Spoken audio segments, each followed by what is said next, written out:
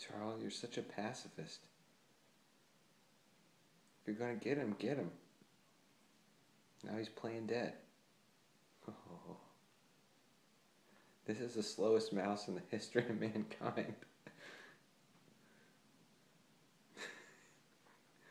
they trained you well. You're such a pacifist.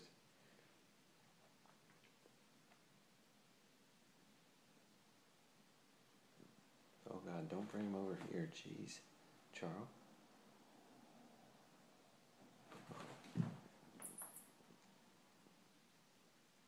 He's playing dead again.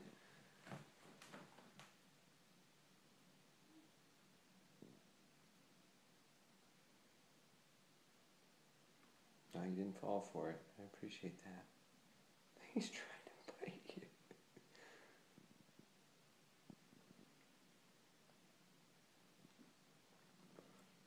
Ladies and gentlemen, what we have here is a classic game of cat and mouse.